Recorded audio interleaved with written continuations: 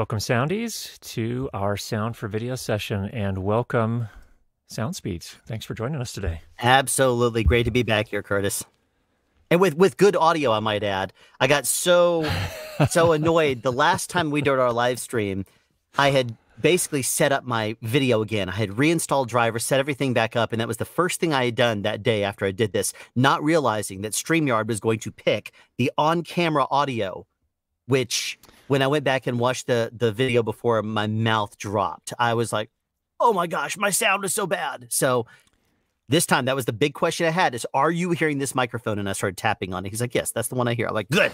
Okay. Now we're ready for a live stream. So that's, that's the that's only right. thing on my on the only thing that I really was on my agenda that I had to say straight out of the gate. As long as we have the right microphone. I don't I, I right. could be, you know, in darkness for all we care.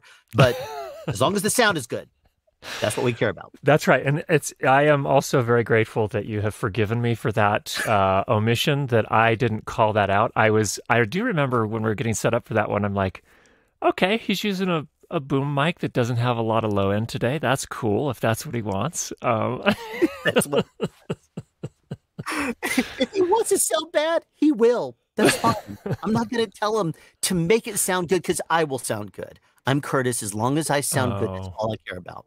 Yeah, and I've also well, I've done live streams too where I did not sound great, so I've I've been there. In No, any it's fine. case, in any case, let's. Um, we're going to talk today about a boom pole. We're going to start there at least. We- We've got probably lots to talk about. Um, What's a boom pole? Um, well, actually, with that, why don't we start with you? Who are you, and why are you here? I'm here because I'm the only person that would accept your invite for today. no, I'm I'm my name is Allen. I'm a uh, boom operator. I've been a boom operator for for years at this point. Uh, also, um, host the SoundSpeeds YouTube channel, which has been going for six years strong at this point. And uh, basically,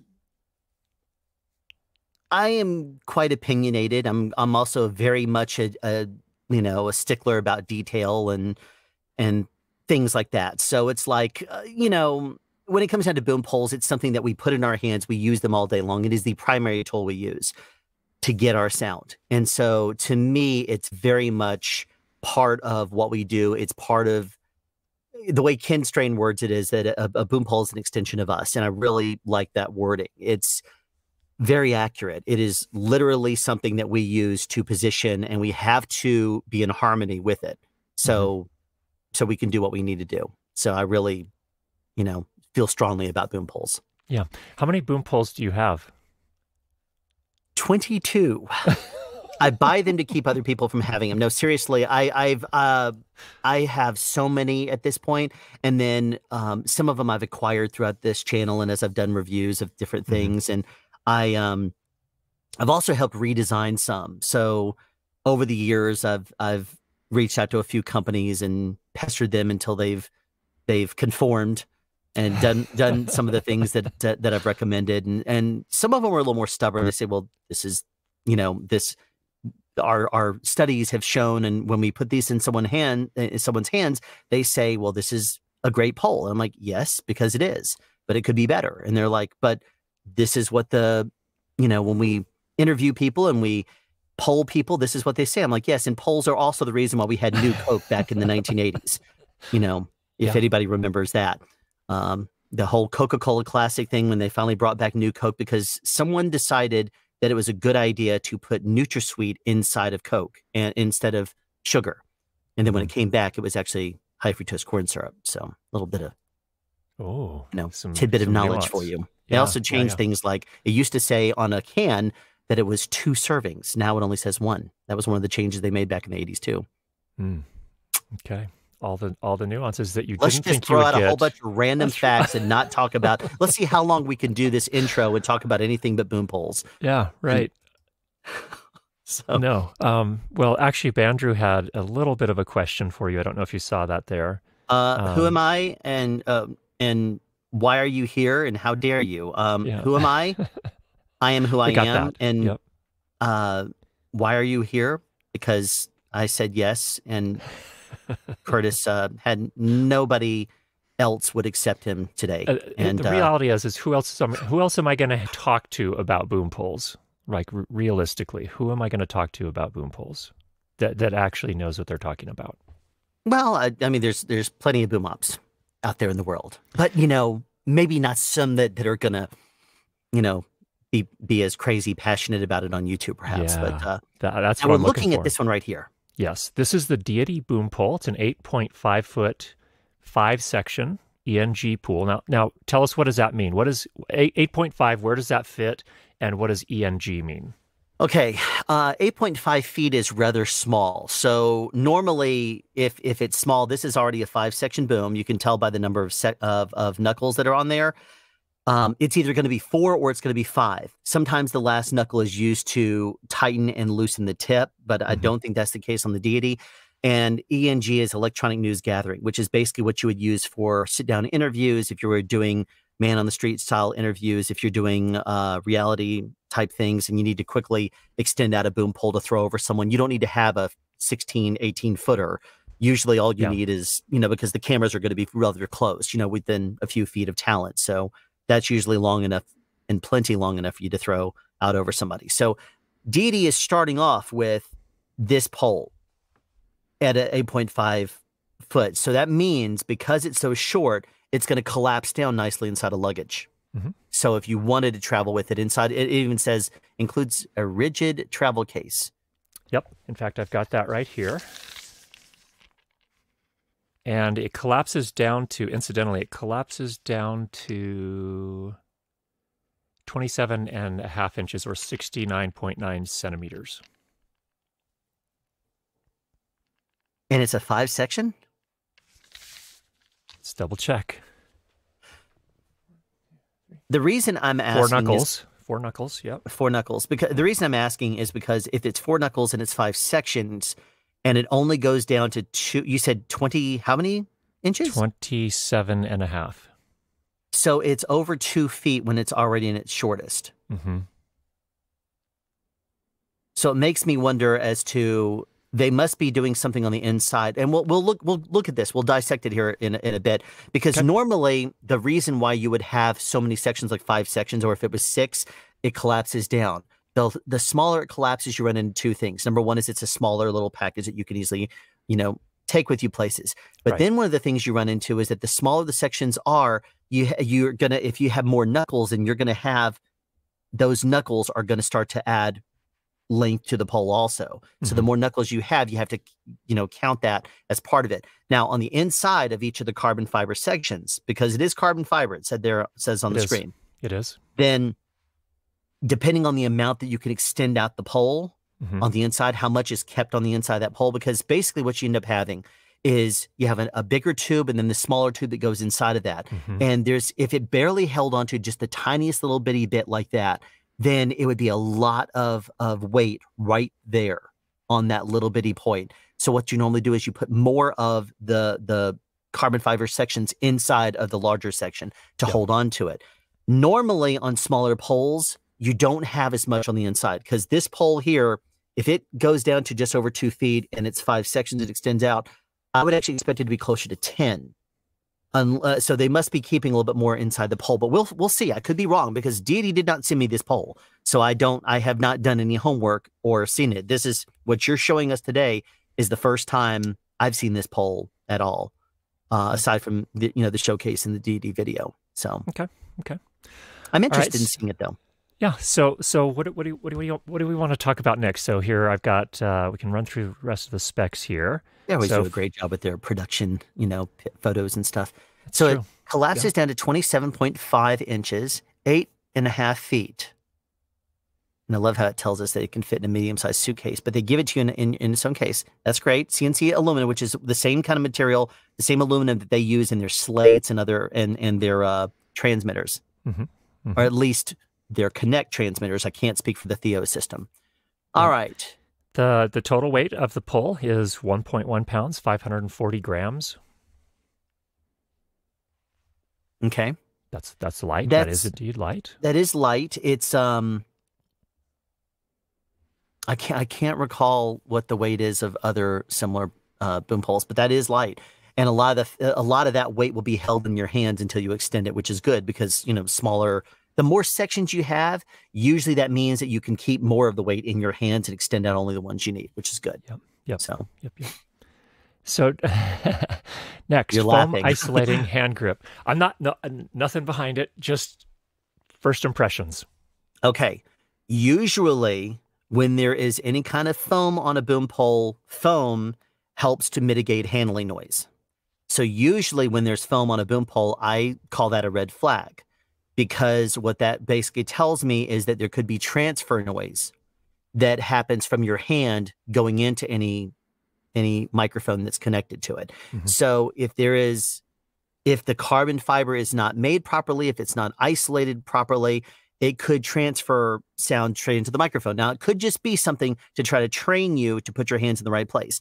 The newer NW088 boom pole is basically that way. It has two little hand uh, places that are about this long, and they're fo- both foam, but they show you basically on the pole. They put them only where you want them to grab, where Mhm. they want you to grab the pole. They don't put it along the entire thing. So it's interesting to me that uh, there's only one of them, or is it? Is Just- there yeah, two? just one, just one, and it's they, just on the very end of the pole. it's on the end of the pole. And they also say that it is removable if you prefer, so you can take it off. It's not. It does look like it would slide right off that rubber bit at the back, so that's good. Yep. Um, that seems to me to be an extra feature. Now, if it slides off, you would also perhaps slide it forward. So personally, what I would do with this, and Mhm. you can perhaps check this one of the very first things, is slide that hand grip closer to the front knuckle as a closed uh, as a, as opposed to the rubber bumper on the back. Because the butt end of a of a boom pole, you can easily, if you wanted to, grab hold of that rubber bit back there. When you're Mhm. talking about acoustics, the, the- usually there's there's different things that you look at like for example if it's solid liquid or gas the denser the mass is the better sound vibrations will travel through it. But rubber is one of those things that carries sound a lot worse than pretty much anything else. I think if memory serves someone could check us on this rubber sound can only travel through rubber at like 60 meters per second as opposed to 343 meters per second for for air because that does not tran- transfer sound very well at all it Mhm. usually makes a great thing for you to grab hold of on a boom pole if you have it. So, being that that is on the back part of the boom, I'd say grab hold of that. It's going to be farthest away from the microphone at that point, and Yep. slide that foam up towards the uh, the front knuckle. Is what I would normally say to do if you're going to keep it on there. Okay. Okay. That makes sense. That makes sense. So we'll take a look at that in just a second here. Um, let's see. Anything else that we missed here? So the the, the pole tip thread is of course three eighths inch. That's pretty standard. That's what Pole end cap mount. Yeah. is that? So let me show you. So by the way, so this this is the deity pole right here behind me. Uh, today we have the DPA 4017B mounted Ah, I love it. I love it that for- mic. did it for Allen. Um, it's an externally cabled. There is no internal cabling in the pole, just so everyone is clear on that as well. And let's let me let me grab it here. Okay. Notice how long armed, you know, Curtis is. He literally just reached across the room and grabbed the boom. That shows his wingspan. He's like, you know, 30 feet tall, so his arm span would be long. So let me shorten it up here. So interestingly, Okay. so so here's the foam on the back of the pole, Mhm. and there's Can you actually put this. yourself bigger on the screen, please? Oh yeah, yeah, yeah. Good point. Yep, can do. Get this off of here. Okay, There we go. There we go. Thank you. All right, so foam right here, uh, first knuckle here. There is this rubber end cap that actually pops off, Okay. and then there's another uh, rubber, essentially stopper that that screws into a 3 8 inch tap on the bottom of the pole. Okay. So that's the that's what sits on the bottom of the pole, and this is a 3 8 inch tap back here. So I'd be willing to bet you the reason why that's on there is because, oh, no, I'm wrong. That is basically to thread inside of that end. So that's probably for what, a counterweight? Or- I, could possibly be could it does they never say anything about it in their marketing materials, but You could get a or three you could eight- replace that. You could replace it if you get it all chewed up somehow. Mhm. And then there's a But cover. you see that uh, my first initial thought was that that's a screw. That way, that if you collapse the sections, it would you know hit that on the end. But it it wouldn't be a, that's- that's- it wouldn't be a place to mount a wireless transmitter, right? I mean, you wouldn't do that. I'm not aware of any type of a transmitter that would mount off of a female like that. Right. if anything, if anything, you could use another tip and having a double sided boom pole. You could you could put a quick release through uh, screw a quick release on the other side too, and then. But no, that's that's that would be for a tip for a another. That would be you put the screw type that the um. No, that would be the base of a shock mount. That's the wrong style. That's the wrong uh, end. Yeah. So maybe they're going to make some sort of a threaded thing that has a hook on it or something that would allow you to counterweight it and use the frame of the boom pole. That would be what I would su- I would suspect Yeah. because you could screw something on there, and and if not, Dee should you know if they're actually watching this, they should think about that because if you have something on there, there's got to be some sort of a purpose, and a counterweight would be a good place for that. You know, if you were going to be doing a long sit down type interview. Yeah. So if a cherry here says that it is to. for a counterweight, it, it it was on Deity's preview video, so Oh, that makes okay. sense. That makes sense. Okay, sense. cool. Yep. There you go. And I like Good. that. Now, the only thing I will say is that that rubber bit came off very easily. And so, because it is designed to come off easily, you need to be careful. A lot of the times, boom operators, when they're holding a pole, you'll pull back on that rubber bit, and you'll try to do that as as a as as you're trying to muscle shift.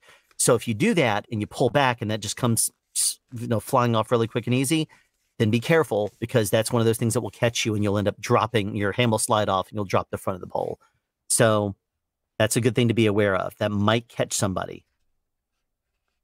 And I like that you just slid the the foam up to the tip there. Yeah, it's a pretty. Um, I was concerned that it was it was actually a little easier than I expected, but it doesn't move around a whole lot. I was concerned that it would err on one side or the other, like it would be too too slippy. Um, it's not. Um, One suggestion I would actually have really to Deity on this tip, and if they would have consulted me beforehand or mentioned the poll beforehand, one of the things I would have told them is that because so many boom operators pull back, because your your your arms do tire, and what Yeah. you'll start to do is f- figure out different ways of holding the pole and pulling on certain parts of it. If you have a flow through, for example, some boom operators will literally put a finger inside and pull back on that to change the the way you hold it. So I would have actually said Deity should perhaps take a rubber the rubber bit and have the through the screws type thread on the bottom of that so that you could screw that into the back of the boom. That way you could still hold it. mm, So that would have been a suggestion I would have had. But then they might say, well, if we put the screw straight through the end of it, how are they going to support it? But you Yeah. know, Yep. there's that too. Incidentally, while we're here, why don't I um, fully collapse this? Mhm. I'm doing it the wrong wrong side first.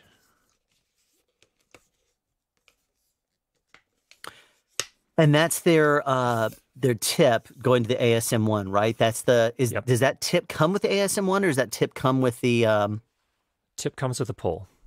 Okay, that's that's cool. So the little extra mount that sticks out. No, no, no. I'm sorry. Uh, look back at the shock mount for a second. Where the XLR plugs in, it Yes. sticks out away from the pole. Oh yeah, the the hanger. Yep. Okay, that's w- XLR tip or or whatever is what I'm used to calling that. So sorry, that's a an ambient name. Is that does that come with the AS? Oh, that does come with the ASM one. I'm literally looking right at it. I should Yep. answer my own questions because it's literally right here. Yep. I've been using the ASM one. I, I should answer my own questions and stop being dumb. You've been using it for a little bit. Sounds. I like? have um, uh, for the past few months. Actually, it's a very versatile. I personally really like the ASM one. It does a really good job. It's a very similar to a Lyre design, um, but I mean, it's it does its job really well, and it's it's very good at what it does. It's not designed for a boom pole per se. If you look at their marketing, or at least it didn't used to be, it's not marketed for boom poles, but it's good enough to be on a boom pole. Maybe if they just change a couple little things to it. That's at Got least it. my thoughts on it. It's interesting to me that uh, when you look at the uh, marketing material for this, look at the photograph. So look at the, the, the headliner photograph. It's on a C stand. Um, Mhm. so it's they're not hand operating. Yep. Uh, and there's not a single shot in here where someone is hand operating.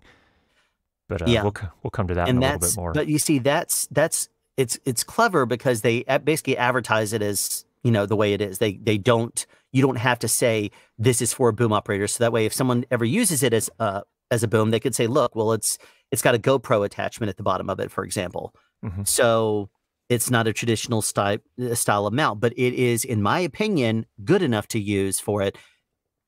If they were to change that little GoPro attachment at the bottom, then it would be so much better. It would just, you know, it's good enough to be, in my opinion. The way they've built it, it's designed to be very good. And it's got rubber, for example, on the inside. You can see the uh, suspensions the, on the clips where it clips on. It's rubber on the inside there, which is good. The bows of the that that hold the suspension, they're lyres. I love lyres. The fact that they build the the little XLR tip part that sticks out in a way that allows it to be a little pigtail, which helps to also absorb some of that that sound. And also, if you notice, some vibration that would come up and hit that XLR would go through and then it mounts to the bottom base of the shock mount as a further point of of dissipating some of the vibration before it even goes into the microphone. So to me, it's very well designed. It looks to me like it's it's kind of got some of the best parts of the Cinela shock mounts that you see and Lyres. Um, and the fact that it sticks out far away from the boom pole means that you can put any transmitter you want to on there. Some of them, the tips are very, very short together. Some of the mm-hmm. For example, have a have a mount that only barely sticks out. If you mount a transmitter like you want to mount a cube style, it's not going to give you any room for it. You're going to have to extend out a pole, keep that section constantly open, and even then, it's going to be touching the edge of the boom. So, they, in my opinion, did a great job with the uh, uh, the ASM one. I like it a lot, especially at a hundred dollar price point. It's brilliant, in my opinion, yeah. that they were able to do it for that. So but, just just for so people understand the the reference to GoPro. So the the mounting uh, hardware on this, you can actually pop off the part that normally mm-hmm. attaches to the tip of the boom pole, and it has that same. Um, I don't even know what to call this connection point here, but it's the they same. They call it a GoPro mount, or they call it a yeah, yeah. action camera style hinge. Right, and their and their their pitch here is that you could use this to anywhere that you can, if you need to plant a mic, anywhere that you can put a GoPro mount, you can mount your mic with the mm-hmm. lyre with, with, the ASM one, which is pretty. And there's cool. so many different things you can get, like uh, gorilla arms and stuff like that for GoPros. I understand yeah. why they why they market it that way, but personally, I would like to see a version of the ASM one. If they, in my opinion, if they just made the mount different so that it would mount more to boom poles, to me it would be a better fit for booms. Because this this shock mount is good enough, in my opinion, to be to be used on a boom pole, but I would like to see a different, you know, something other than that GoPro hinge. Yeah, yeah, yeah. Makes sense. Makes sense. Okay. Okay, back to the boom pole though. Back to the boom pole. Okay. What else do you want to know about it? I moved the um, phone forward, so now okay. We, you move the we'll, we'll... pole forward, so now if you were to connect it back up and we were to listen to it, you can hear. We'll start with the handling noise.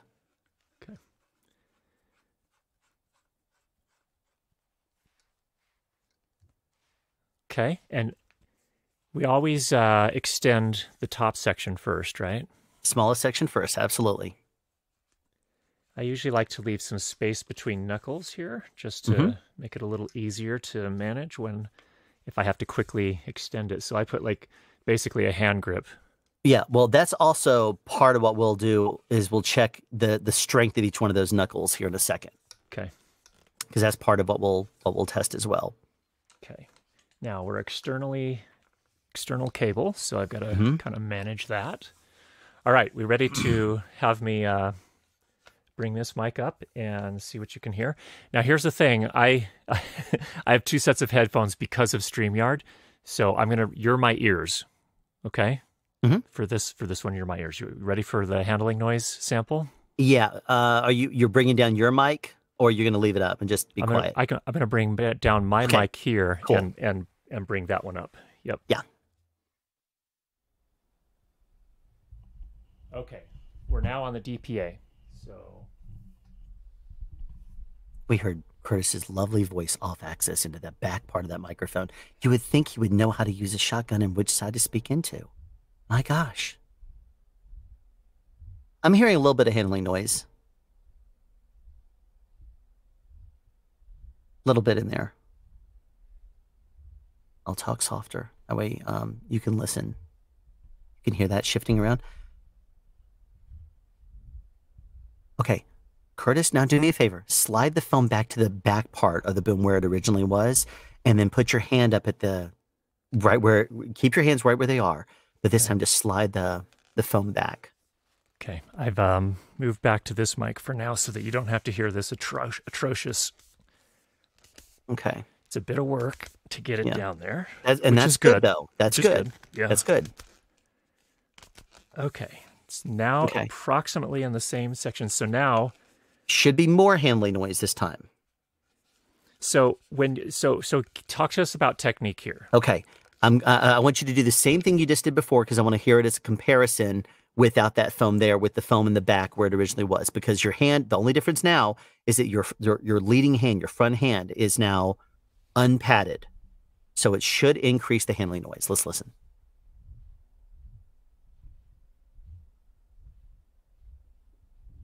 I think the only thing we're really hearing is a whoosh on the microphone.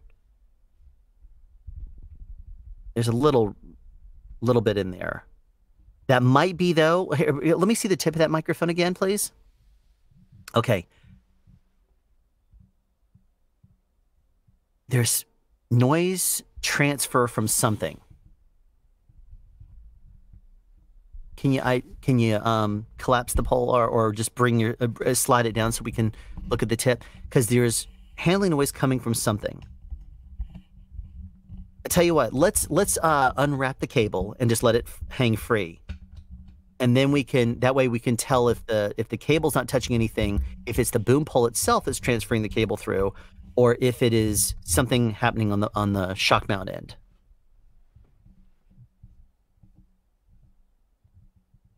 Okay.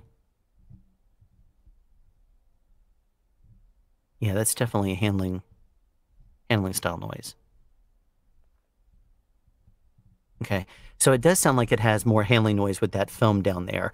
So let's bring it back up to the tip. I'd like to hear it again, if you don't mind, with uh, the foam up where it was before, where, where 'cause I think it was better up there. Okay. You. back over to the 4017.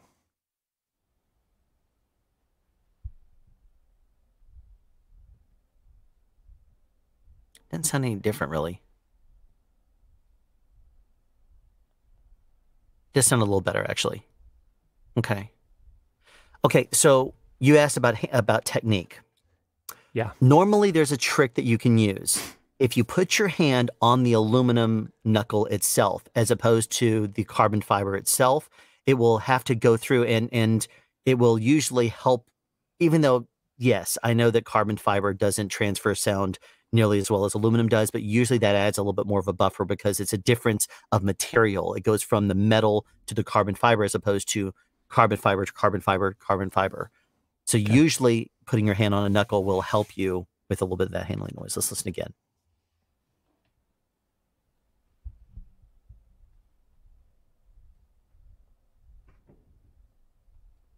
That actually helped tremendously right there. What is that squeak noise though? That doesn't seem to be it seems to me to be something on the shock balance side. Is it all the way screwed in? Is the cable Is everything tight like the hinge and save your ears for just a moment. Uh, Uh-huh. That's all tight. yeah, it doesn't sound like tra- a regular transfer noise. It sounds to me like an actual handling. Like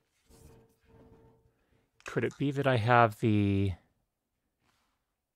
That's this what I'm looking at is- too tight? Um, give it just a little bit more space to to move around on the lyres. like here's what I'm doing. If you notice, I don't even have mine going through the little thing here. Oh, just skip that. I, I I skip it altogether because I just allow it to to hang free. This cable is stiff enough, so I just let it go. You know, Okay, go free. let's try that. Let's try that.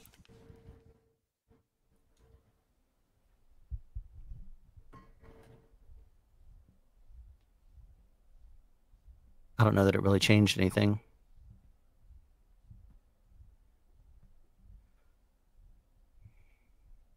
Okay. Again, this is not really designed for hand holding. So let's try a little uh, let's try a little voodoo trick here. Let's let's take the end of this. We're going to unplug it and I want you to see if you can add a very loose knot into it. Into right here. Very loose. So Okay. So we're going to disconnect Yeah. The XLR. See if you can add a very loose knot in that cable. Because if you do any kind of handling with something like this, a very loose knot like that, if it's try to try to pull a little bit of the slack out of the cable. There you go. Make it make a little bit because knots, believe it or not, if you have a lav mic, for example, or you have something like that, sometimes those little knots, if you can add it and have it have it up there so that the knot doesn't itself slip, sometimes that helps dissipate some handling noise. So Deity would probably do well to if if they were to release an ASM one for for a boom pole, change out that cable. I would recommend L4E5C Canare Star Quad, L4E5C. Take a note, write that down, Deity. See if they have a, a, a yellow yellow version of it. Uh, I'm sure they could make a yellow version. Uh, they, so, I think okay. they offer it. here we go. Okay, back on the DPA here.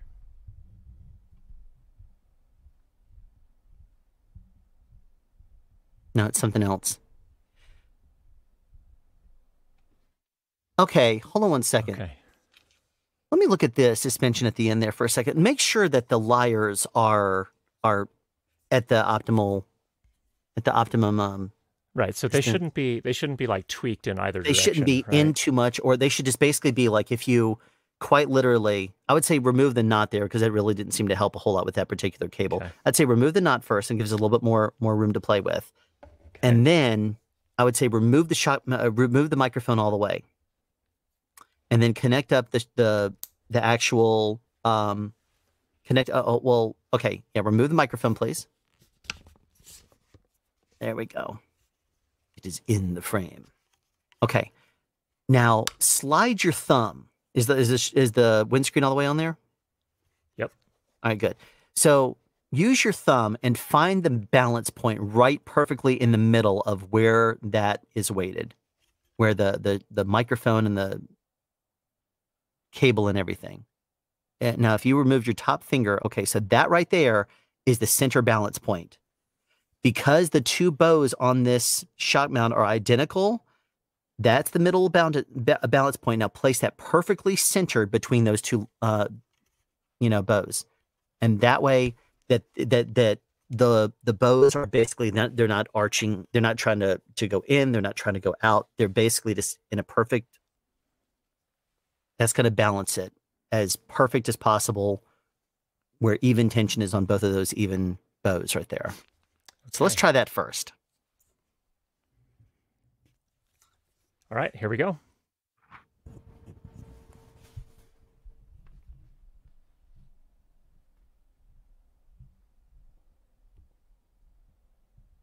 I think it sounds better.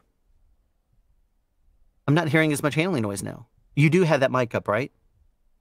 Yeah. I still hear a little bit, yeah, but Can it's a, it's better than it was. It's better than it was, I think. So okay. that's that's good. That's an improvement. Okay. All right. Yeah. So balance points. So there's a technique that uh, we can all take home with us and take to our next job with us. Okay. All right. All right. Now, um, let's take if you extend out the pole now. See what happens if you keep your hand on that leading hand, either on the foam or on the the knuckle itself, and slide your finger up and down the actual boom pole, you know, the last segment, the segment that's designed to, to for you to handhold the operation of the pole at the biggest section.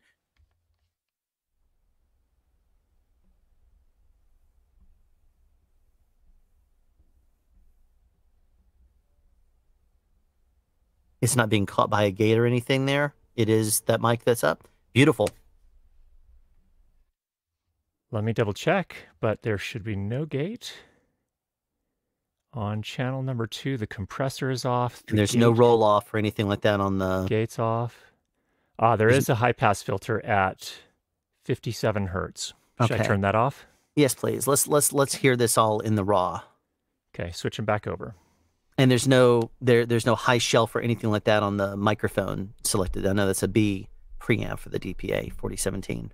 Let me double check that actually.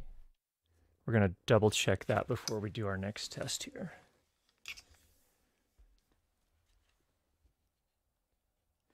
Do the the um, when you first see the switches on the 4017B, I was like, oh, those are so cool. And then after using it for a while, I'm like, eh, I'm not so sure those are so cool because they're sometimes they can slide like halfway between, and you're like, what what's it doing here? Another thing is it, it on some 4017s, it's a point of extra tension. So you can actually tighten it or loosen it a little bit. And sometimes it will either go, uh, it will basically lock in place or it's too loose and it will, it's a, it's a point of contact that, you know, you have to be careful of. Yeah. Okay. We're going to switch back over. Now we have the high pass filter turned off, all other processing off. Okay, good.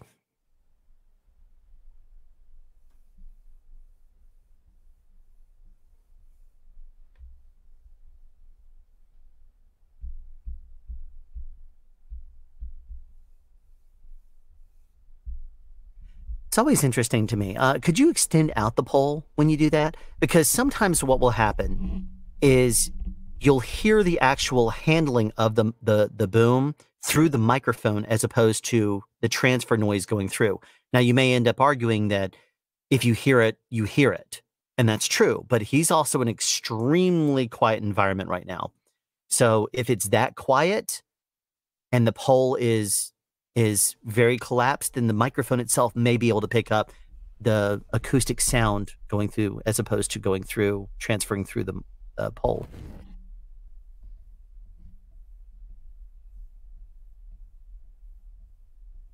I think the only the only thing we're hearing right now is the the natural holding of the the leading hand right there on the pole because I don't hear that transferring very well at all, which means it's good. It's good. Now, the only thing I would say also is try it over the phone now, and let's see if that changes.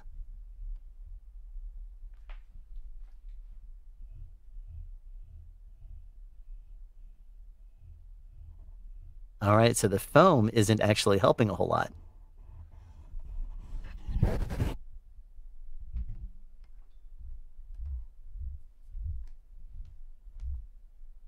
Yeah, it's whooshing. You have um you probably have air uh, air in uh, the, the the air in your in your studio there is not stagnant is it? It's moving? No no air conditioning down here. That's why in the wintertime people are like curtis you look so cold. It's a it's an unheated un air conditioned basement. Interesting. what you may have, have heard a... there is a there is a freezer um, I to to to extend the pole and actually stay in frame like I was there, mm-hmm. I had to stick the microphone through past my sound blanket over here, and there is a freezer with a compressor running over there. No, it was definitely. It sounds to me like um, microphones are usually very delicate uh, mm. to any kind of moving, and if there's stagnant air that just does not move because there's no airflow, um, then then it will be better than it would be if there's oh. pressure pressure in the air. That's why I was asking. Got it. Got it. Because it seems. Oh, but but then I remember that you. What is your elevation where you live? 6,000 feet. Okay, so that's not terrible, but it is higher than what most people would probably run into. So maybe pressure on this 4017 differently than what we're used to. Yeah. Okay. Um, well, I tell you, uh, let me let me ask you this then: If you were to slide your fingers over the carbon fiber sections, how does it feel? Is it is it pretty smooth, or do you feel any splinters or anything that feels like? Uh, do you feel any texture? Because it is a textured boom pole.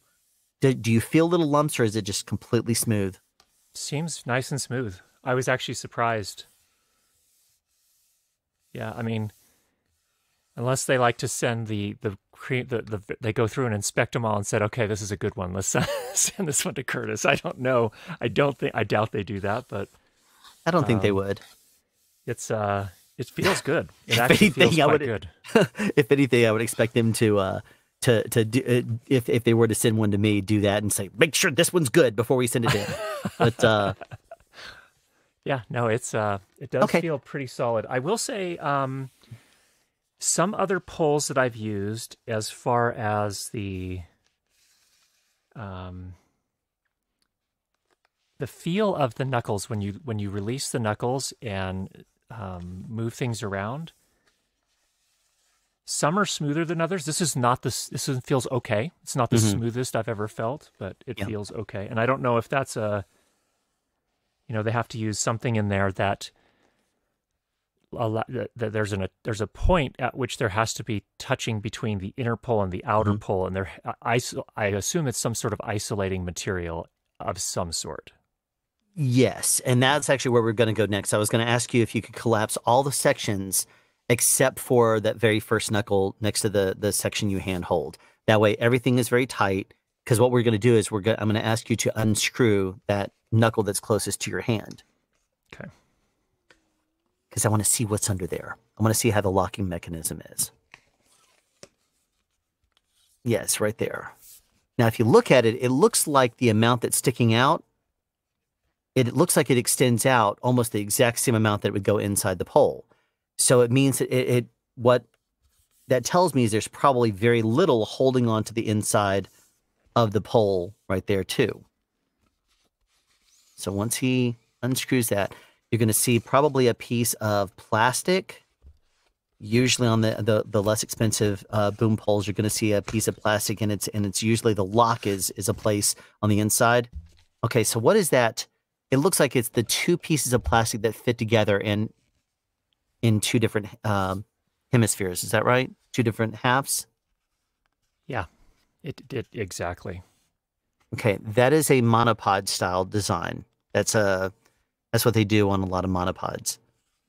And it's it's designed, you know, and, and some of the more inexpensive uh, boom poles will do that because it's easier for them to do that. That's not necessarily just a bad thing.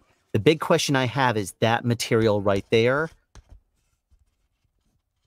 Does that transfer noise? Because that is the point of contact. You and you notice how small that was. There's very little that plastic right there is a direct is the is the point where that inner section is connecting to the outer section and that right there is a big point that material if it is a if it transfer if if it transfers vibration through there like you can actually take it and slide your finger like this across across it and hear the transfer sound directly on that piece of plastic because some plastics are designed for it to be uh, to dissipate some vibrations you can actually get some material and a lot of the more premium boom poles that use something like that, like K-Tek uses Delrin, which is a very it it is designed to absorb. Now slide your finger from there, slide it back like this, as opposed to this way. Slide your finger lengthwise all the way across, and then do the same thing over the the regular pole itself.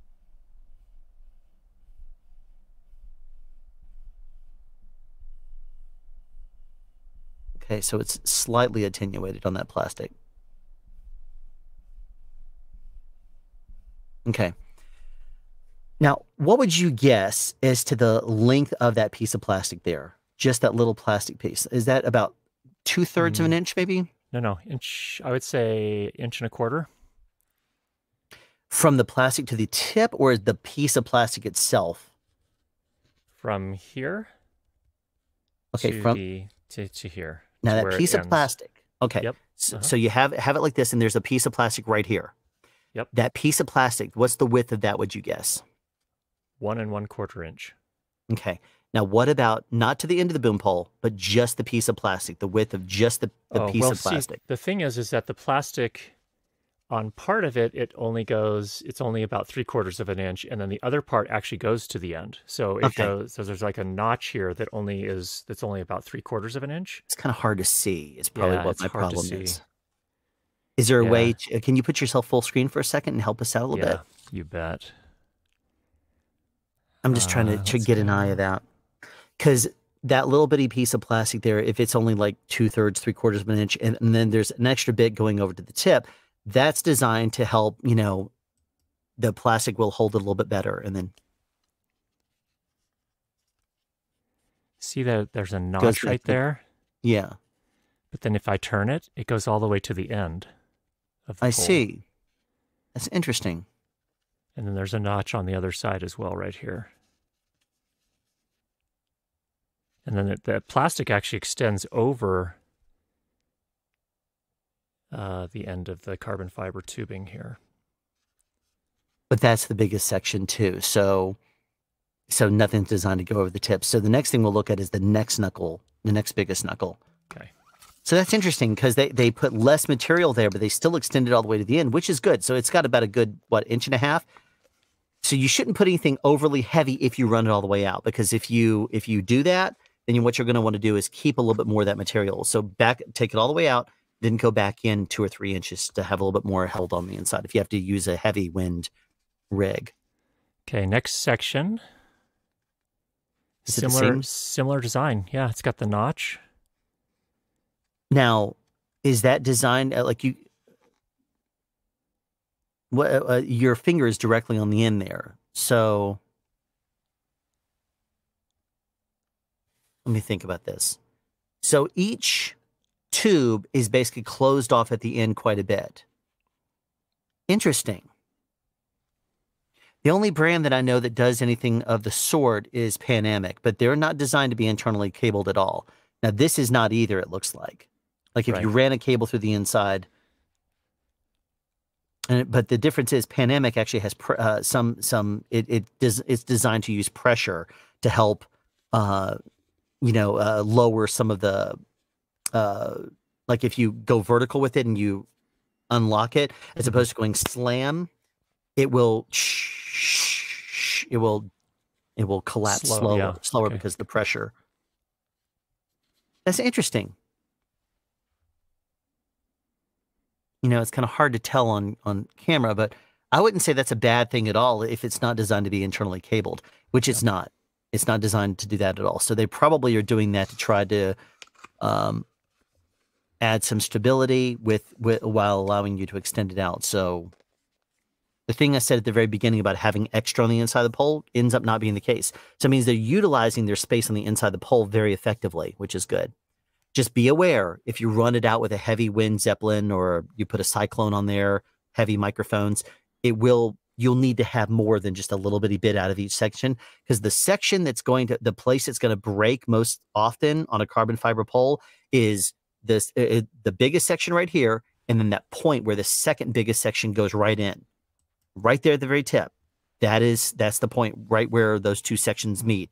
It will break usually right there because that's where the maximum weight is from the entire pole that's extended is right there. So running on the inside you know so there's a total of four or five inches on the inside of each segment. If you use a, a, a heavy rig if you're using something like this you should run it all you could run it all the way out and you'll have that full eight and a half foot length. So that's good yeah, that's good. good. All um, right, should we? Oh, sorry. Go ahead. The next thing I was going to ask is let's look at the actual locking mechanism on the inside because um, there's probably when you undid that, the carbon fiber section has to be locked somehow. And so if you can remove, you want to uh, look at the knuckle or the the thread, the threads on this side. Well, there has to be something that it, on the inside of that knuckle right there. Is there a piece on the inside of the knuckle? Because there's got to be something. Do you see an extra little piece in there at all? If there is, it's attached to the knuckle itself. It stops as soon as I get to this plastic piece you, here. But if you look inside of it, does it have any play in it at all? If you do this kind of thing to the the aluminum piece, does it does it jiggle at all? Is there anything in there that you can see? Not that I can see. There's a little uh, rim of plastic around the top edge there is, of the knuckle. Yeah. Yes, and that's what the locking mechanism is. So if you take it upside down and just wrap the no other way, flip it upside down. Oh, because it's the there you go. That's going to be how you get it out there. No, no, no, no, no, no, no. You're jamming it back into the knuckle at that point. So you should be able to to break it kind of loose that way. Or you could even press it if you had something like that, like a little paper clip or something like that. You could press that piece of plastic back through so we could see it. Unless it is somehow snapped into that, which normally is not the case. Hmm. It's holding on. It's holding okay. on pretty nicely. Okay. Yeah, it looks like a piece of plastic with um, periodic gaps. Mm-hmm. That's because if if it's if it's completely like this and you start to compress it at the end, there's got to be a point where it it it basically has something like this on the inside. And as you compress it by pressing it into the the tip, it's got to yeah. have it's got to actually be able to grab around there. I wanted to see what that piece of plastic on the inside looks like. There's no way to get it out without damaging it. Um, I could go get a screwdriver. No, it shouldn't need a screwdriver. Do you have a um? Do you have tweezers? Do you have a paperclip? Not to hand, but okay. let me just no see if I, I'm just looking around to see if there's a little something I could grab here. By the way, it does come with the ASM1. Came with uh, a little XLR colored rings. That's nice. That's because it's based off of a uh, It's it's based off of an FXX connector, Neutrik, as opposed to an FX. Sorry about the mic bump there.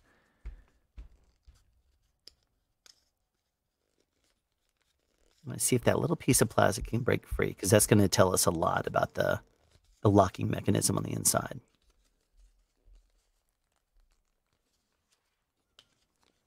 Let's say uh,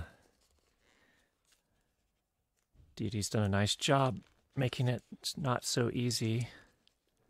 That's not going to do it.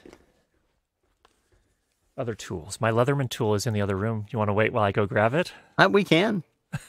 we right can back. if you if you if if you like. you uh you uh keep it keep it clean. Oh, Danny has paper clips right over here. Oh, Danny, hello and thank oh, you. And tweezers. Look at Saving that. the day. Look at Danny. Okay, here Amazing. we go. Uh, if you want to put those right here, that's great. Okay, here we go.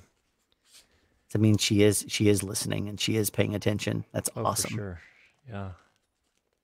Okay, we might be able to do something here. Okay.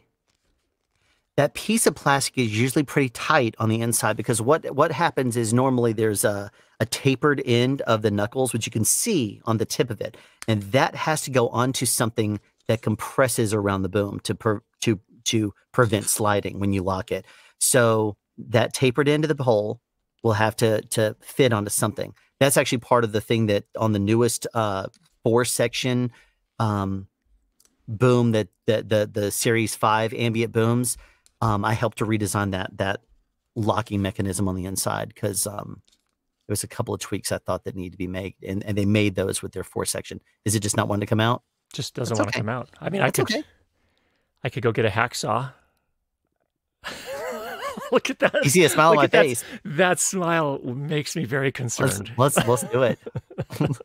let's, you know, if yeah, Deity's watching this quietly in chat, you know, sitting there saying, "Don't, Allen, don't, don't, don't, don't tell him to do this. Don't tell him to this." It might be locked on the inside. It might be something that slides in, but I would be willing to bet you that there would be a way to get that off because I'm just curious it's not that it's a bad thing on the inside there. It's just whatever that is, it would tell us a little bit about the locking mechanism.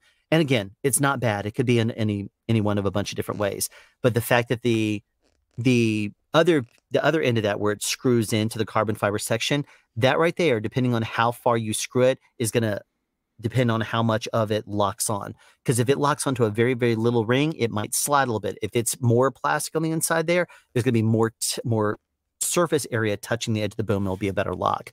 But that would also give us an idea of um, the locking mechanism. So far, let me ask you this: when you take the pole and take a, take out a section and you lock it all the way, how much of a twist does it take to unlock it so it slides? Okay. Oh, tiny, tiny, tiny bit. Well, well beautiful. Wait, wait, wait.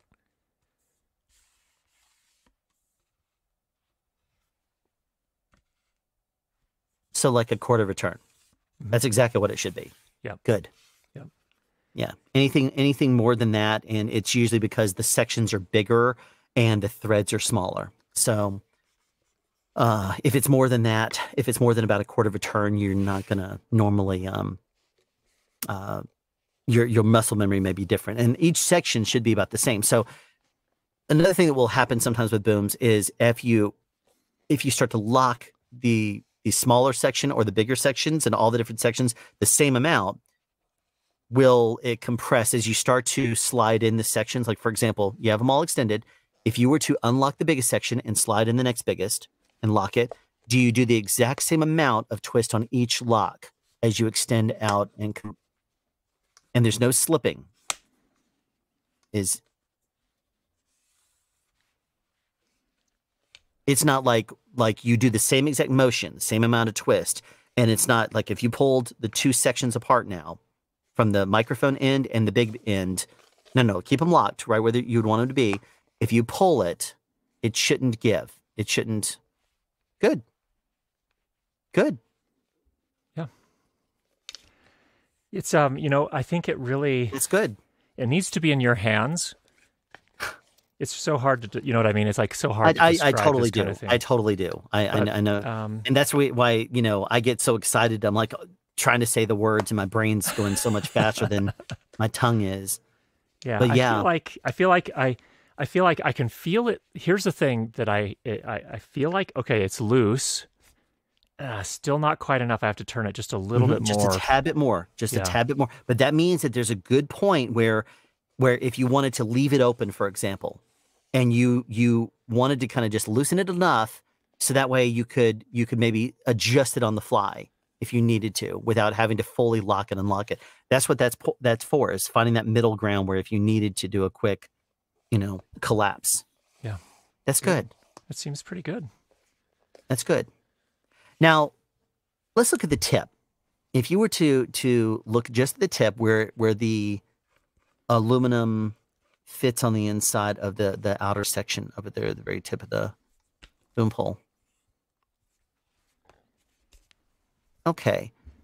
Biggest thing I'm going to point out is that Deity probably should have taken that piece and made it black.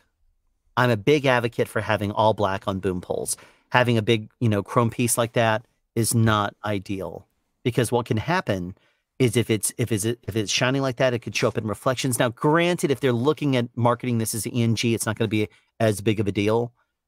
But if they were to release a design that's for boom operators and feature films and stuff, that's the same exact thing but longer. First of all, 86 the uh, foam, people are not going to like that at all. Uh, but I'd also say make that completely black at the tip.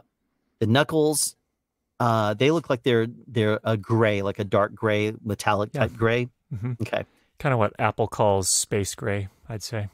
So if they were to make one that's designed for for boom operators on film sets, I'd say make those black also, make those darker. I mean, granted, it's not going to be a game changer. It's not going to be something that, oh man, look at them. This is this is the big thing right there that makes this boom pole worthy. Is um that because I mean most boom uh boom poles on the market aren't completely jet black. They're usually they got something that's that's gray on there. The more black there is on a boom pole, the better it is. But um, that tip did not look bad at all. There's no wiggle in there at all. I'm I'm assuming. By the way, Kevin Broman said this. Pull the plastic tip off of the carbon fiber pole, then slip off the knuckle. Yeah, that's pretty well adhered there. I feel like at least on my copy it feels like it's it's glued on or something. Hmm. Is that typical for that to be glued on? It depends on the design. Like I've not Yeah. I've not seen this particular design of a pole. If if, if you looked at it and you kind of try to figure it out, they, some brands they put very little epoxy on that, and if you put a lot of torque on it, it will break free. Or if you heat it up, it will break free also. It looks like Deity is securing it properly, which is good. It's it's designed to not really break. It's so far Deity is getting a, a lot of thumbs up from me. I mean, without me even touching the thing it looks to me like like there's a lot of, of good things put into that. They on the the the butt end of the boom pole, the only thing I could say is is what is that plastic that's when you took it off there, the the lock on the inside? What is that plastic? Because it's the same kind of plastic on at the the cap end of every one of these poles, the extension poles, right? Whatever Wait, that this- plastic this? is. Well, that and on the inside of each section, on the Oh, got bottom it, part got it, of each it. section, whatever Yeah. that plastic is, Yeah. if it is a plastic that's designed to not transfer noise, it's more more difficult to transfer noise through. That would be better. Usually, some those kinds of materials are the ones that. Um, can the shiny metal tip be spray painted black? I wouldn't. I mean, the reason why is because it's going to still flake off. It's gonna. I mean, if anything, what I would say, Liberty, is taking a little piece of like uh, we was talking about the very very end there if anything, I would say put heat shrink on it. Once you screw that into your microphone, anything you see, if you put like a piece of heat shrink that's the the, the width of that that carbon fiber section there, for example, if you put a piece of heat shrink, slid it over the end of the boom pole, put your shock mount on there, slid it all the way back up, that will tell you the base of that screw right there, right where the um the washer is. Then if you just gently applied a little bit of heat, not too much because you don't want to break the the carbon fiber on the inside, but that little bit of heat should be enough to shrink down the tubing. That would make that completely black at the end. They give you the tip is interesting because it's not designed for you to internally cable, but the tip design being that there's a little window in that. If you look there at the tip of that, it has a window built into that, which is designed for you to add some sort of a, you know, if you wanted to uh, permanently attach a cable. If not, they could very easily secure it all the way around, make it. Now they might have done that for less material. They might have done that for to make it a, a couple of grams lighter. Yeah, that's typically what I've seen on poles that are that are internally cabled. Mm-hmm. Something like that. Usually, it's that kind of a tip, a flow through style tip. Yep. So Yep. they might have been they might have put that little window in there in case you wanted to throw a cable through there, solder on an end or something like that. But um, that's usually where where you see those. So all in all, I would say not bad. It's um, it's designed for 185 or uh, dollars. You said is basically the design. Yep. I think we determined, and you could refresh my memory on this, that the foam really didn't seem to help or hurt anyway. It didn't really seem to to matter, so you could take that off, and you're not going to see any any drastic performance difference. The knuckles they seem to be, you know, done well. Mhm. The only tweak I might make would be the plastic on the inside there, and I need to look at it in closer detail, um, because it, it did did the pla- the plastic stayed on there. Normally, if it's a monopod style design and you were to completely un you know slide it out of the carbon fiber, the two hemispheres fall apart Ah, and that's when you have to you have to kind of you know there'll there'll be some sort of a little you know jigsaw looking design. You have to stick them together on both sides in order for the hemispheres to come together. It looked like that was all one piece though. Is that correct? One and so that looks like there was one piece. They probably put some epoxy on there put it on there and you know got it Mhm. on there good and solid which is good. That's good um, design. The only question i would have is if they were to do a different type of plastic on the inside would that give it less transfer? Because that's the main point right there where each carbon fiber section is going together.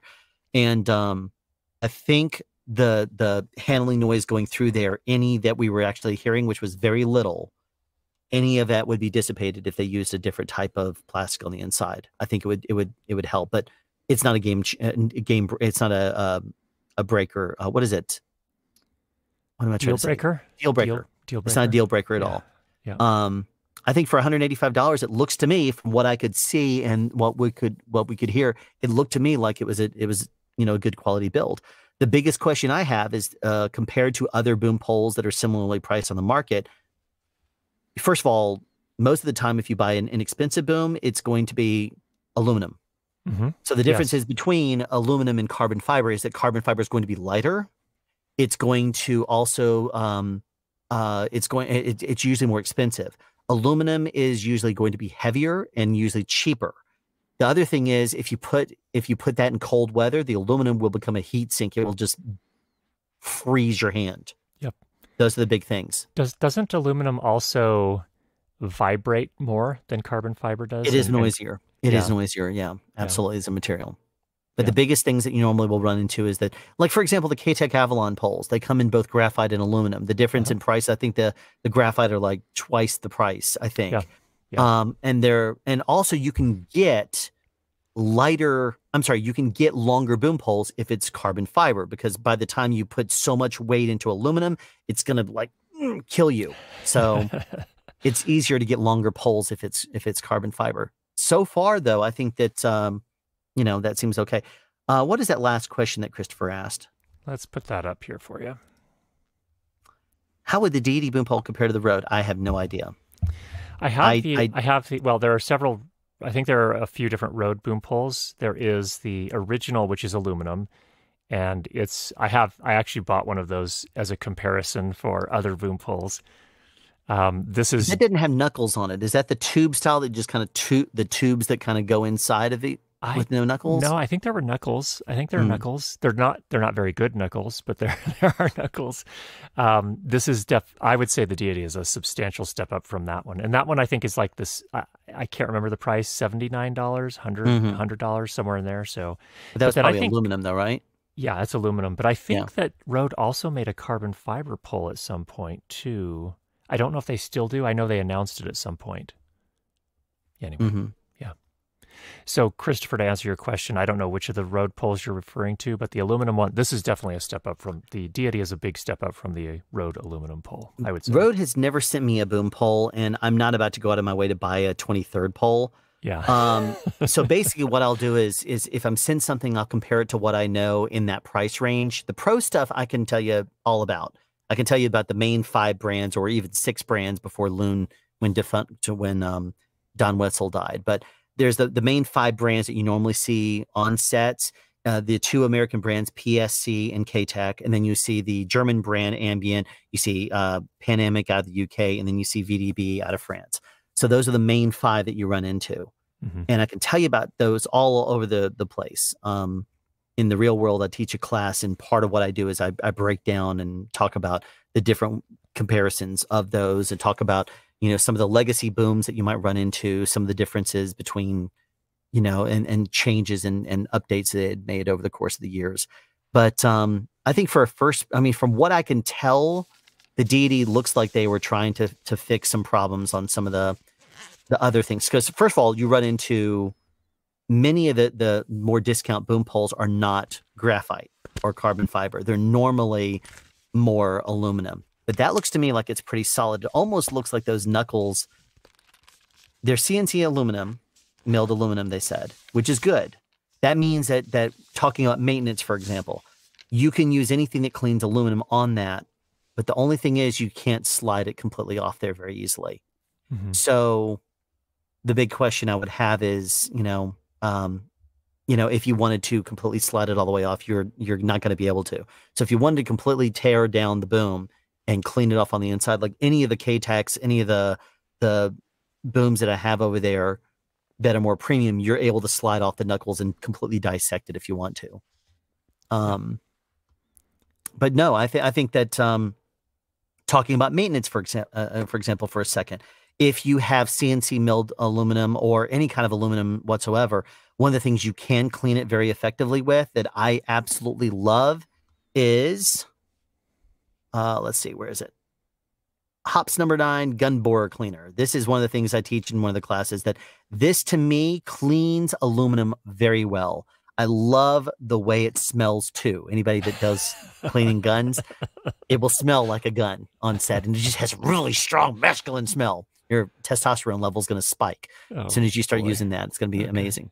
Yeah. Um cleaning sure keep keep your keep your finger on that pulse. Make sure it doesn't get out of hand yeah absolutely um, and then if you want to clean um, graphite or aluminum, really, one of the best things that I found is basically 409, which oh. you can find pretty much any place. That and, is something that so, you, so, so that's going to get the grease and the the sweat that's all accumulated on the. If there's anything on there, absolutely. And I would usually say put something on when you put something on there. Make sure you use a, a fiber, um, microfiber, microfiber. cloth, yeah. as opposed to anything that can have little particles break off.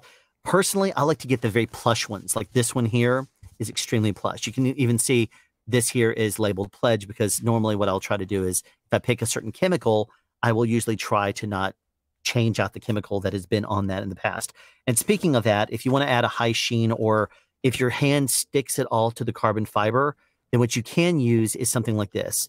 Uh, pledge furniture polish with orange oil this is actually going to um, it's going to give it a nice you know citrusy type smell to it. It's going to mm-hmm. feel really good. Now the biggest thing about that is it's going to make it really slick.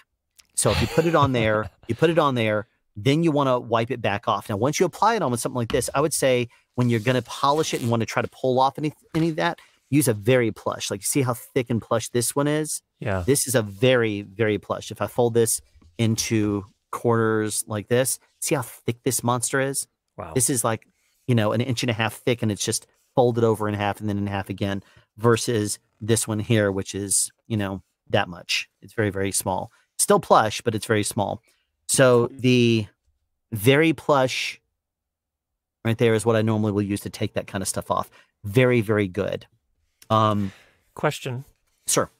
Um, so if I do put pledge on, when you're cueing, are you going to actually put it between like between fingers or and, and actually let it kind of move? Or do you do you do you rotate your wrist as you're cueing the, the front wrist? What i will usually try to do is is be, uh, is be as very delicate as i can with the end of the boom. You don't want if you can touch uh, touch the pole onto your hand and you try to move your hand so the pole does not actually rotate that's Got only it. what I do. If I have to roll it someplace, I'll usually try to get it in my fingers if I can. If not, and I have to actually roll it, I will try to roll it straight down my finger in such a way. Then, then the bone is not perfect, so you'll sometimes hear the bone click. But, um, but trying to roll it as you okay. Okay. see fit, that's usually a better approach than, um, than you know actually you know sliding it in such a way where you Yeah. you hear it with your hand. Yeah, where you're going to get that Depending- friction and that and that's going to transfer all to the mic. Yeah. Absolutely, anything you do with your hands is going to potentially uh, transmit through into the microphone and Okay. transfer transfer all the way through. Interesting question from Robert. Um, what's the difference between carbon fiber and graphite? Okay. Um, basically, here's the difference. You can take different blends of carbon fiber tubes, and some of they're they're not all even. That's the reason why you can make bicycles out of carbon fiber, very dense. But different carbon fiber tubes are drawn together depending on the strength. And once they they put them together and compress it, they will will add some sort of a thing to hold it together. Usually something that's um, you know some sort of adhesive. You know, it could be epoxy or it could be whatever. I'm not 100 percent sure on what each brand does, but I know some of them that will that will draw it together and then they apply heat. If it is, as I understand it, 2200 degrees and above, curing for multiple hours, then what happens is the carbon fiber breaks down a little bit, becoming a little bit more brittle and flexible, creating graphite. If it's cured at anything below 2200 degrees, then it, it then it retains its full strength. It doesn't break down the carbon fiber, and therefore it's it's what we call carbon fiber. It's all still carbon, 92% carbon at the very minimum. But Mhm. usually that's the difference is it breaks down into higher heat and therefore it will become more flexible. So like K-Tek boom poles, for example, those are a lot more flexible. The carbon fiber on that is more flexible. And the difference is carbon fiber that is flexible, what you're able to do is it will take out a little bit of the spring. So you'll have um you'll have, for example, let's just use this for example as a, as a microphone. If you have a boom pole that's extended and that oops, let's do this. And you have a boom pole and it's extended out, that carbon fiber if the, the microphone starts bouncing up and down, carbon fiber that is that is more graphite will bounce and spring, preventing this from moving nearly as much. So the microphone itself will hold, it will take some of the flex out so the microphone doesn't move. Now the carbon fiber ones that are that are cured, the more stiff ones like the ambience, those are less forgiving. Those are more pencil straight, so those don't bend and bow nearly as much. So you have to be a little bit more delicate with your hand. So depending on the brands of boom that you have that, that you have available to you, you want to try them to see how the flex is. Because if you do a walk and talk, you might want to have your microphone, you know, stay relatively the same where your pole will bounce and take, you know, some of that, you know, spring in your step out. Mhm. You might want to have a pencil straight boom. Personally, I like to have it pencil straight or or very, you know, with very little movement in there because I'll snap a boom quick. And if I snap it, I don't want it to go, you know, like. Right. That's a little exaggeration. But right. but Right. personally. Now, if you do, since I want to go back to pledge for a second, if you do put pledge on a boom, you want to try to get as much of it as you possibly can off of it. The exception to that is if you have something like the old QS boom pole from Ambient, um, which is now discontinued with the Series 5. What I did with that one is because my my I loved the pole, everything about it, but I was like, my hand is just it's sticking to it. So what I did is I put pledge on each section, ran it up, stuck it in the front of the house for you know a day, left the pledge on there for a full day. My wife kept looking at it saying, when are we going to take this thing down? And then when I collapsed it, I I started by wiping down each section to remove as much of that pledge as I could. Then I brought the next section and did the exact same thing. And what that did is it kind of soaked into the boom just a little bit, keeping keeping it so that way it wasn't just like really slimy to your hand, but it Mhm. made it extra slippery. Now, if you do something like this, it's on your own. Don't come and say SoundSpeed told me to do it. It's something that that I found that is successful. That's good. Another trick that you can use if you um are getting some hailing noise out, and again, same kind of thing. Don't hold you know don't hold me responsible. Hold Curtis responsible. If you try any of these, because this is his stream. There's the disclaimer for you. Um, if you take, uh, for example, you like use rubber gloves Mhm. make water as hot as you can out of your tap to the point where if you put a, a washcloth through it or something like this, Mhm. you know, a microfiber cloth, then it's going to be scorching hot, too hot, hot for you to want to touch. Mhm. If you take it, quickly wring it out, put it instantly on the section of boom pole, what that will do is it will kind of open up the pores ever so slightly. As you continue to wipe that down, take that off, grab a white, uh, uh, a dry one, run it up and down. Sometimes what that will do is it will that compression and expansion of the uh, carbon fiber won't break it or hurt it, but what that might do is it might trap a little bit of the moisture on the inside that that helps it to dense up a little bit. So it will it. perhaps slide differently on your hands. Some carbon fibers, not all of them do. If it has any kind of a sheen on it at all, it's not going to. It's not going to soak in. But if it is a if it's a carbon fiber without a sheen on it, what I've done in the past is I've sometimes used sandpaper on it and and just taken a 600 or plus grain sandpaper, hold the boom upside down because you don't want to end up having the carbon fiber sections go right back in the knuckles. I hold it upside down, use a little bit of light sandpaper on there, wipe it off, and then I use one of those tricks. Either okay. the wipe it off with the 409 to get all of it off until it's not coming onto the the rags anymore. And then once that happens, I've gotten it all off of there, then I'll usually put something like the the hot water trick or the pledge, and then I'll kind of lock it in place. Okay. So those are a few different things for you to think about.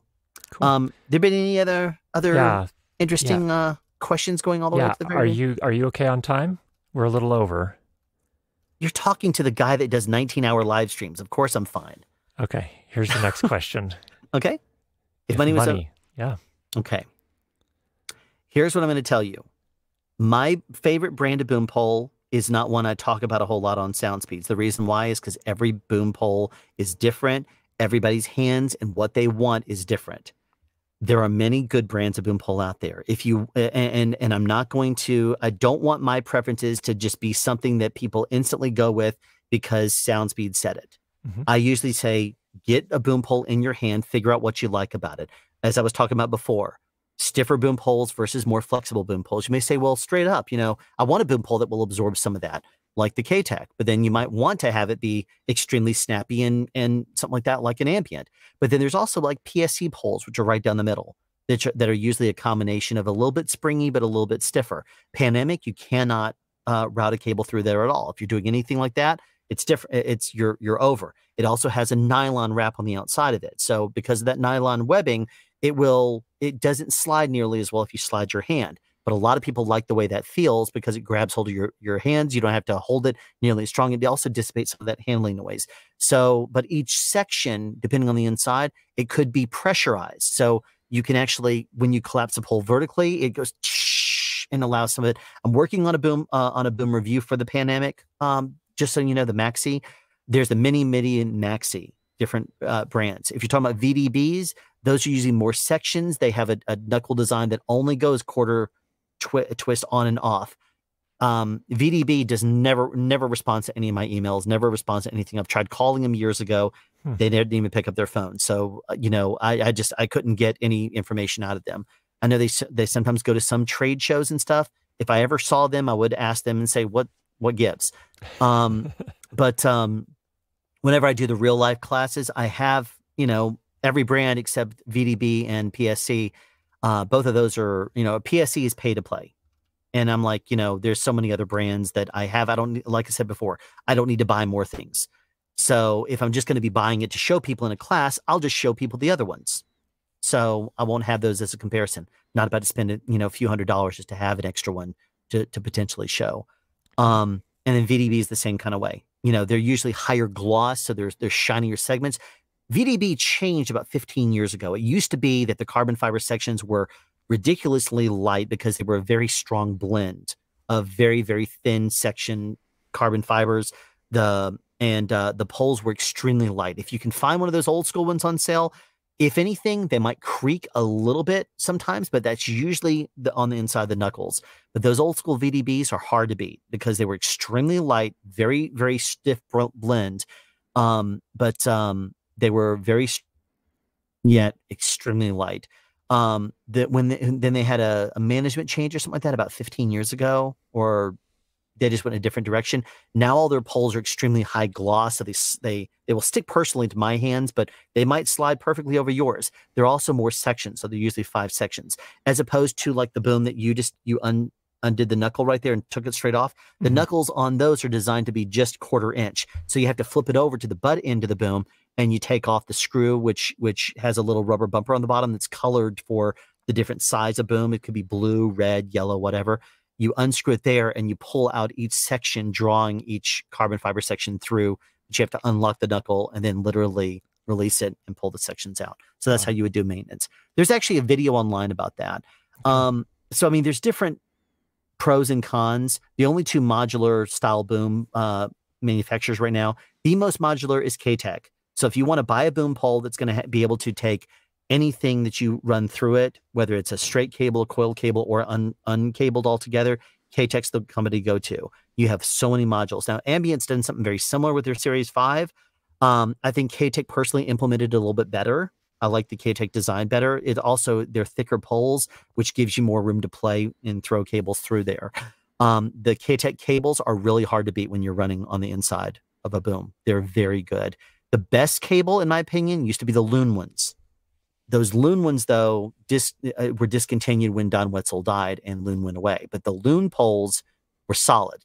Uh, Manfred Klemme and Don Wetzel were some of the initial people um, involved in manufacturing the first boom poles for K-Tek. And then Don, Don and Manfred went in different directions, and, and Don started doing his own thing.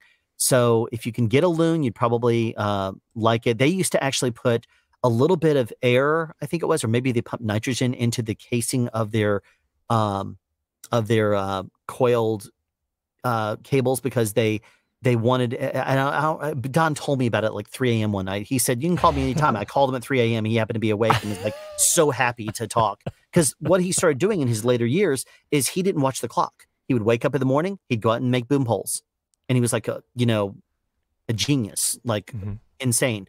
He would make boom poles as soon as he got tired. He'd go inside and sleep. Wake up the next morning, he'd go out there. So his schedule, he could work a 20 he could work a 20 hour day and then he'd go to sleep and sleep for 8 or 10 hours and then wake up and his days would shift. But that's all he he did in retirement is basically he made boom poles and that's what he loved. So if he happened to answer his phone, cool. If he didn't, could be asleep. And I called him and he said, Yeah, call me anytime. So I called him at 3 a.m. one day on my drive home just to see if he was going to chew me out Oh, hey, Allen, how you doing? well, let's talk. You, you, have some questions for me? I did. And so we started talking boom poles, and the man was wow. brilliant. Wow. Um, wow. But he actually put like nitrogen on the inside of the. Um, I don't remember what it was for. I think it was like to to help take some of the the the creakiness of a boom cable that was that was coiled cable. He would do that. But another thing on is that those most of the time the coiled cables are only designed to safely extend out about four times the, the length of their their normal, mm-hmm. you know, stretchiness. His were five. His were were more so. Okay. Um, I mean, it was it was brilliant. But every single manufacturer, like I said, currently on the market, I think the K-Tek cables are hard to beat. I think they're the best. Um, better than the ambience, better than any of the other ones that I've seen. Um, their locking mechanism, also going into the TA3 on the inside of their coiled cables, are so much better and more superior, in my opinion, than anything else. There's um but then of, of course also different brands like you know ambient um, they do have modular modular boom poles very similar to the K-Teks, but K-Tek's been doing it longer and their sections are bigger, so they're they I think able implement it better. But the uh, the ambient ones are stiffer and they're more responsive uh, if you do quick movements. Mm-hmm. But uh, they're slightly heavier too. Ambient's always had the approach of having slightly heavier booms that are more responsive. So being that that um, that if you want a responsive boom, if you like that, then you might like ambience. It also depends on the the texture and the way that it goes in your hands too. PSCs, like I said, they're they're usually just you know they're they're very similar in design. I think to the to the deity one. It's just that it's it's there are differences that make it uh, more premium. But then the VDB is you know collapsible down. The knuckles are quarter turn. They also have little rings that or, or little uh, bands on the inside of each carbon fiber section, which are colored so you can extend out to the green one. And you know, every single time you collapse the pole, extend it back out to the exact same place again. So, I mean, every brand is different and you have to kind of get your hands on them to see what you like the best. Yeah. Speaking of hands, would you use thin goat skin mitts? Jazz asks. No. I mean, maybe if if it was if I wanted it for warmth in the winter or something, maybe. But mm-hmm. normally the ones I use are the Mechanix M E C H A N I X 0.5 millimeter gloves. To me, they're like form fitting, practically like skin tight, but it also is reinforced on the inside here for quickly wrapping cables. If you've watched any of my videos on wrapping cables quickly, it develops a lot of friction, but I like the form fitting nature of it. I don't use the black cotton gloves, rubber, the very, I'm not rubber, um, uh, leather, very thin leather will also be very quiet. It's a very soft leather. Mm-hmm. So I personally use those if I have to use gloves at all on a boom for whatever okay. reason.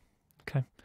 Have either of you had a chance to look at the K-Tek Aero? No, boom. I uh, K-Tek has has um, only sent me the Mighty Boom, and they gave me one of the five section Mighty Booms, uh, basically to show in classes and stuff that I teach. But I'm not.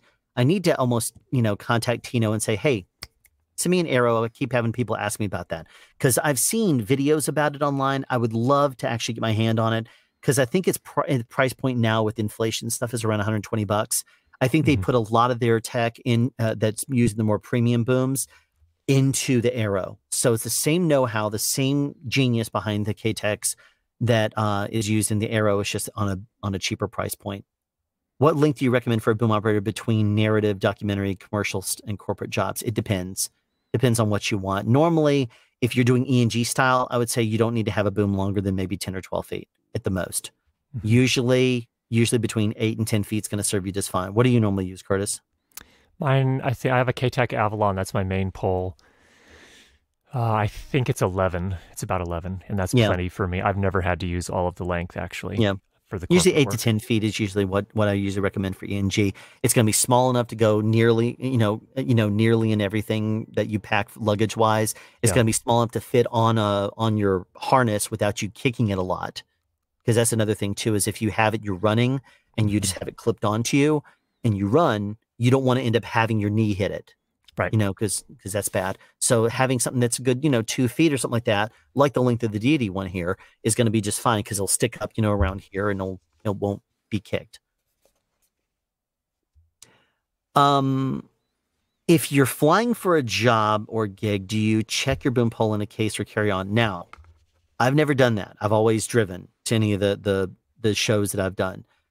Now, I do know that somebody in my Discord server recently uh, posted that he checked one of his booms, and whoever it was in air in the airport like damaged his boom beyond repair. He said by probably looking for drugs or something like that stashed inside of it. It used to be a problem about 15, 20 years ago where people in the TSA, they didn't know what in the world it was. They thought it could be a pipe bomb or anything. So they would literally cut it straight open and then look in each half because they didn't want to just unscrew it and whatever. They probably looked at it and says, whatever this thing is, and they would cut literally through whatever it is and destroy the entire pole. And then say, well, there was no drugs in it now. We know. But I mean, now the you know, destroyed. it, it completely Thank you. destroyed the pole. Exactly. Yeah. So, um, what I have heard people normally will do now, I have not double checked this. It depends on your carrier, obviously. You might want to call them and find out in advance if you're planning on doing it. But there are TSA style locks that you can get that put on something. If you get yourself a boom pole and you get a a case of some sort, like you know, Plano makes like fish poles cases and stuff, and different Mhm. types of companies make um, make cases that you can put a lock on. Get a TSA lock so that way the TSA can unlock it. And then on the inside of that, um, I would say try to carry it on if you can. They'll probably take it from you at some point. But if you were to say, look, don't cut the thing open, I can show I'll gladly show it to anybody right now. Leave all the sections loose on the inside and say, don't cut it open. You don't need to. I'll show you right now. Bring your drug sniffing dog over here and smell it, whatever. You'll realize there's nothing on this thing Mhm. but try to take take it as a carry on. They'll probably take it from you either when you check your luggage initially or when you get up to the uh, the plane. If you can carry it on, carry it on. If they if they let you, if it's small enough. If you have a feature link boom, that's like four or five feet, you might have more difficult time doing that. But Yeah. that's when you get a TSA lock and you put it on the inside and make sure you tell them do not cut this thing open because you do and you're destroying a you know thousand dollar thing. Mhm. There's not you're not going to find anything on the inside. I'll show I'll guarantee it. Now, if you really wanted to be overly cautious, I would say disassemble the entire boom. This is what I would do actually if I was going to fly internationally or just uh, something like that. I would get a tube that's big enough for me to send a dis uh, a disassembled boom. I would I would take all the carb um the carbon fiber sections apart. I would Mhm. take all the the the knuckles, put them completely separate. So that way, when you open it up and look at it, each of the carbon fiber tubes are separate. So that way, they would look at it and hold each section up, and they can look in and realize there's nothing on the inside. That's probably what I would do. Is completely disassemble. It would take more time, and if you're going to end up having to run a cable through and solder it, then you're going to have to deal with that later when you get to the other side. Personally, though, that's what I would do if I were going to fly with it, and I wanted to make sure they weren't going to, you know, cut in half one of my four or five foot booms. If you're talking about smaller, you know, boom poles, then Check in luggage. you know, Put it in check in check-in luggage. luggage. Yeah. Absolutely, that's what I would do. Yep, yep. Allen, thank you so much. I am getting the cue that I am way overdue. Um, thank you for coming today and sharing Sure. your knowledge and uh, so many great, just great techniques and, and things that we can put to use. learn learn a ton every time you come on. So thank you so much. Absolutely. And if anybody has any questions about uh, booms that were not, you know, uh, that we didn't get to in the chat or something like that, feel free to to shoot me an email at allen at soundspeeds.us and I'll answer it. That is a dot .us, by the way. Okay, so cool. and you can, of course, it, I think most of you know, but just in case anybody doesn't, you can also find amazing information on YouTube at Sound. Just search for Sound Speeds, and there's tons and tons of great videos going back six years now of, yep. of great information. Almost 500 so. videos at this point. Wow. So, yeah. I think that's more a lot. I have. Good deal. Uh, thank you so much, Allen. Thanks, everyone, all the soundies, for joining us today. Get out there and make some great sound this week, and we'll talk to you again soon. Take care, Absolutely. Everybody. Thanks for coming in. All right.